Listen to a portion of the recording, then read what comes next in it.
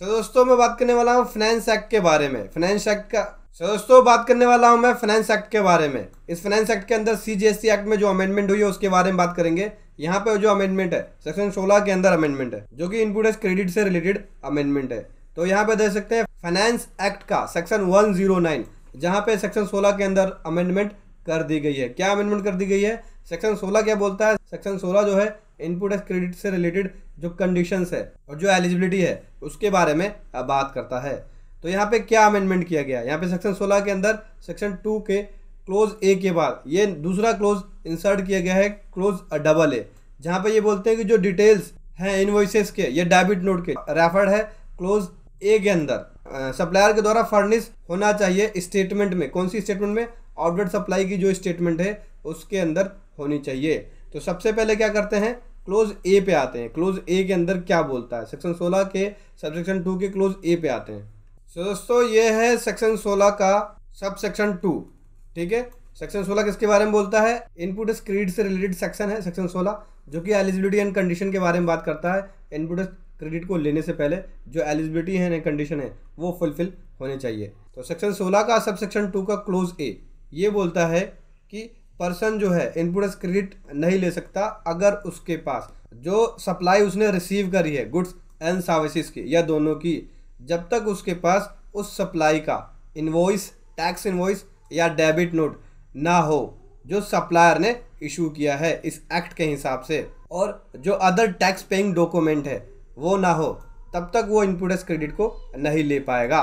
तो दोस्तों, ये है सेक्शन 16 का, सबसेक्शन 2 का क्लोज ए, जो ये बोलता है कि बिना डॉक्यूमेंट के आप इनपुट टैक्स क्रेडिट को नहीं ले सकते हैं। मतलब कि जो भी आपने सप्लाई रिसीव करी, सप्लायर से, गुड्स एंड सर्विसेज़ की, उसका आपके पास प्रॉपर डॉक्यूमेंट हो, प्रॉपर टैक्स इनवॉइस हो या डेबिट नोट हो, जो कि सप्लायर ने एक्ट के हिसाब से इशू किया है, या कोई अदर टैक्स पेइंग डॉक्यूमेंट हो। मतलब कि जो आपके पास इन्वॉइसेस हैं टैक्स इन्वॉइसेस जो आपने सप्लाई रिसीव करी है, गुड्स एंड सर्विसेज़ के, या डेबिट नोट है, उसके बेसिस पे ही आप इनपुट क्रेडिट को ले सकते हैं। इसका मतलब क्या हुआ कि जब आप टू ए देखते हैं या टू बी देखते हैं, उसमें अगर किसी और पार्टी का इन्वॉइस आ रहा है आपके पास और एक्चुअल में आपने सप्लाई रिसीव नहीं करी है, सर्विसेज़ या गुड्स नहीं लिया है और आपके पास टैक्स इन्वॉइस भी नहीं है उसका तो आप उस तरह के आईटीसी को आप जीएसटी या थ्री बी में क्लेम नहीं कर सकते हैं।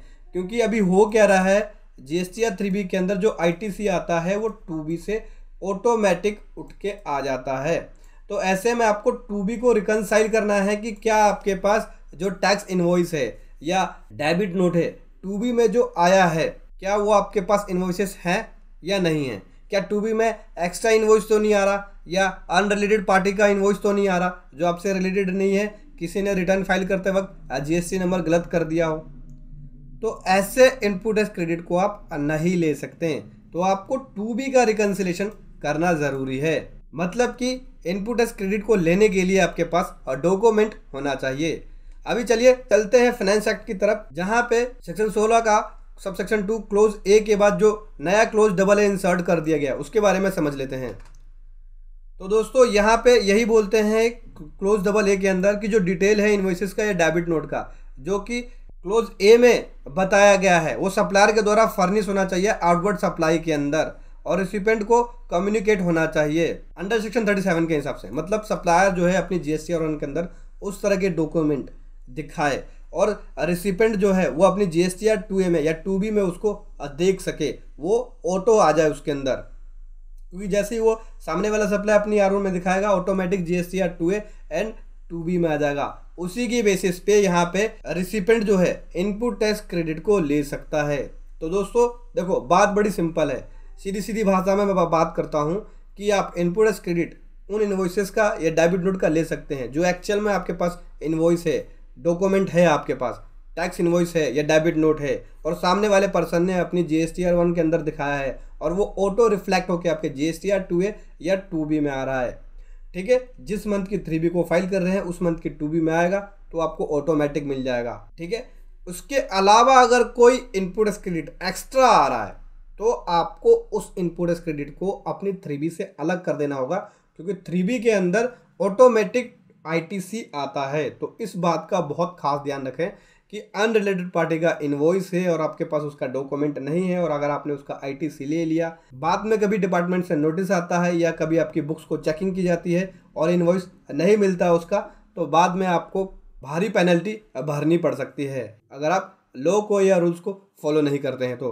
दोस्तों, ये था एक कमाल का अपडेट जो मैं आपके सामने लेकर आया। वीडियो कैसी लगी, ज़रूर बताएँ। थैंक यू सो मच जय हिंद, वंदे मातरम।